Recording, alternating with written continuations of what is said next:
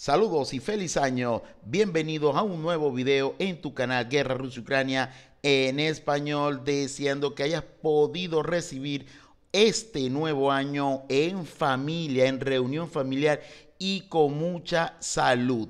Llegamos al día 312, hoy es primero de enero, señores. Ya vemos nuestro mapa estratégico y en la víspera de este primer día del año 2023 tronaban las explosiones en la capital ucraniana. Drones kamikaze se estrellaban con varios objetivos en los distritos de Chevchenko y más al sur en el distrito de Holosip. Esto en, repito, en la capital ucraniana. Están aclarándose dónde exactamente llegaron estos drones kamikaze o simplemente fueron producto de explosiones por eh, defensa aérea. Ya veremos si logramos conocer estos objetivos. Vamos de inmediato a la línea de batalla. Bueno, en Gerson, en primer término, vemos eh, ataques del ejército ruso con artillería en la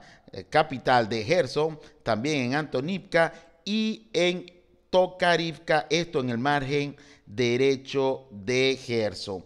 Seguimos, subimos a Zaporille, donde ya la zona se empieza un poco a calentar. En Nikopol hubo artillería en las posiciones de tiro ucranianas. Ya tenemos más de una semana que no se registran ataques por parte de las formaciones eh, ucranianas o de la artillería ucraniana en la zona de Energodar, donde está la planta de energía nuclear de Zaporille.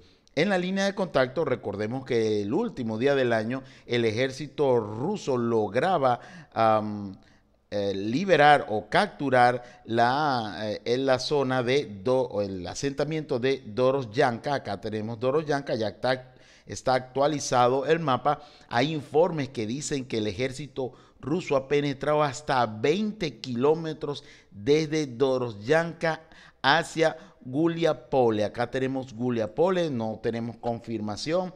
Lo leímos en dos reportes eh, en los canales, uno en Twitter y otro en Telegram. No podemos confirmar esa ah, información. Ya veremos qué nos dicen los próximos reportes. Bueno, lo que sí eh, vimos en tanto en la zona de Zaporille como en la zona de Donetsk, Donetsk Sur, eh, intentos por parte del ejército ucraniano a través de grupos de sabotaje, grupos de RE que intentan llegar a la retaguardia eh, rusa. Acá tenemos el informe válido para todos. Fueron destruidos seis eh, grupos ucranianos, vamos a ver acá, seis grupos ucranianos de sabotaje y reconocimiento que operaban en las direcciones de los asentamientos de Novodrika, Dorosyanka, la recién capturada por el ejército ruso ayer, en la región de Zaporille, Nikolske, Nekchune y Novomihailovka en la República Popular de Donetsk. ¿ok? Varios, acá vemos varios grupos de sabotaje fueron destruidos, hasta uno, dos, tres, cuatro, cinco grupos de sabotaje fueron destruidos en las últimas 24 horas en Zaporille y en Donetsk.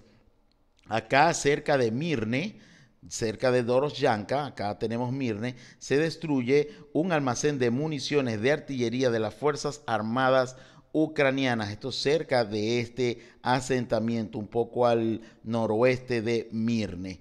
Vamos, dejamos Zaporille. Zaporille. Fíjate que eh, hay algo, ¿no? Que te decía que estos informes decían que el ejército ruso había logrado penetrar hasta 20 kilómetros y fíjate dónde bombardean Guliapole sigue el bombardeo con artillería. Atención con esto. Vamos a ver si estos eh, reportes se confirman. Vamos ya al sur de Donetsk, donde, bueno, ya revisamos el avance o el intento de avance de los grupos de sabotaje ucranianos. Y bueno, vemos eh, ataques con artillería por parte del ejército ruso en Solotaniva. También sigue el férreo ataque en Buledar, en Novomihailivka, en Marinka, fíjate, Marinka no ha avanzado el mapa. Ayer te decía que eh, habían algunos mm, informes de avance, no se confirmaron, pues sigue el mapa en el mismo lugar. Desde Marinka se está atacando, ya hay en esta última semana varios ataques acá en Curajobo, Curajobo, donde eh, desde allí se ataca las posiciones y la retaguardia rusa en Marinka. Inclusive desde aquí se ataca Donetsk, ¿ok? Bueno, ataques también en Krasnohorivka y en Advitka. Se reportan eh, ataques y intentos de avance por parte del ejército ruso. Más al norte, vamos a ver qué nos dice a través de un dron kamikaze en el asentamiento de Komichivka. Vamos a ver qué nos dice. Se destruyó, aquí ven un radar móvil de vigilancia aérea de las Fuerzas Armadas ucranianas. Allí pueden ver la foto de, de este, de uno de los tipos de, de radares móviles que tiene, eh, que posee las Fuerzas Armadas ucranianas y que son eh, dados por eh, sus um, socios del norte de Estados Unidos. A su vez sigue el bombardeo masivo de las formaciones ucranianas a las áreas civiles, edificios civiles en Donetsk, también en Makinka, Yasinubata y en Horlovka, ¿ok? Hasta este momento, al momento del cierre de la, de la información para hacer el video, eh, teníamos bombardeos en toda esta área de Donetsk. Otro helicóptero, vamos a revisarlo, otro helicóptero Mi-8 acá en el oeste de Donetsk, este caso un Mi-8 ucraniano derribado cerca de Portalba, fue derribado por aviones de vigilancia ruso, aviones de combate que siempre están vigilando los cielos de la retaguardia ucraniana. Seguimos y llegamos a Oropilla, esto en Donetsk, seguimos en Donetsk, donde se destruye, vamos a poner un poco más grande este informe, durante la lucha de contrabatería en las áreas de los asentamientos de Ivanopile y Svanovka de la República Popular de Donetsk. Atención, dos obuses autopropulsados de fabricación polaca Krab, acá te dejo el video, eh, perdón, la foto, fueron destruidos en las posiciones de tiro desde los cuales eh, se atacaba las áreas residenciales de los asentamientos en Donetsk, ¿ok? Fueron destruidos, repito, dos obuses de fabricación polaca Krab, uno acá en esta mm, posición en Ivanopilia y otro más al norte en eh, Svanivka o Svanovka, acá en Donetsk, fíjate, cerca de o al, norte de Soledad y al sur de Sivers. ¿Ok? Bueno, tenemos ya los dos eh, em, obuses de autopropulsado CRAP de fabricación polaca. Vamos al sur de Bakhmut, fíjate. El sur de Bakhmut siguen los combates intensos en el área de Klichivka, Opine, todo el sur están tratando las tropas Wagner, ya como te dije en, anteriores videos, no están yendo de frente, eh, luchando de frente eh, en el este de Bakhmut. Saben que eh, van a obtener muchas bajas, muchas pérdidas y no están luchando de forma frontal con el ejército ucraniano. Sí, por el sur se están obteniendo ciertos avances, ciertos éxitos en el lado de Krichivka y Opine. En el lado oeste de Bakhmut, aparte que fue bombardeado, tenemos aquí otro radar. Ayer fue uno en el área de en área oeste de Bakhmut hoy se destruye otro eh, radar de contrabatería ANTPQ-50 de fabricación estadounidense que prácticamente ya Ucrania no debe tener muchos de estos mm, eh, radares de contrabaterías todos los días son uno, dos, hasta tres destruidos por eh, la tropa de artillería y misiles del ejército ruso. En Pingororne, al norte de Bakhmut, siguen los enfrentamientos. No tenemos avances reportados en esta área. Al igual que Soledad, siguen las batallas posicionales, aunque se hace un intento por parte de las tropas rusas de avanzar en este sector boscoso de Bakhmutke. ¿ok?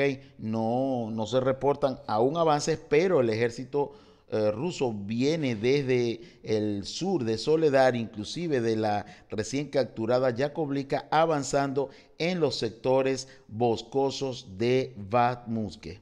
Seguimos subiendo, no se reportan eh, combates en el área de Besele ni Rosdolivka en las últimas 24 horas. Ok, ya vimos el, eh, obús eh, destruido de fabricación polaca Kraft en Svanivka o Svanovka. Siguen los combates, los intentos de asalto por parte de las tropas rusas en Bilohorica. No es fácil avanzar en esa zona ah, porque es una zona, el pueblo está asentado en una zona montañosa, lo cual eh, dificulta la acción allí en Bilohorica. Bueno, en la zona boscosa, al norte de Serebrianka y al sur de Dibrovo y Cremina, vamos a ver, tenemos un informe importante allí, dice lo siguiente. Eh, fueron alcanzados en las áreas de los asentamientos de Rosivka, esto es más al, norte, Rosivka es Maquica, Estel Maquica de la República Popular de Donetsk, así como la cibercultura de Serebrianki, allí las pérdidas de las Fuerzas Armadas Ucranianas, atención, fíjate, eh, por día en esta dirección, en las últimas 24 horas, ascienden a 150 militares ucranianos abatidos y heridos, un vehículo blindado de transporte personal y dos camionetas en esta área, incluso antes de la zona gris.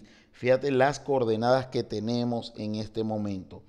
Repito, más de 150 militares allí abatidos y heridos, tanto en Serebrianca, en la zona norte de Serebrianca, como en la zona de Abdrika, y en la zona de Estelmakivka. ¿Ok? Te decía que Adrika es Rosivka.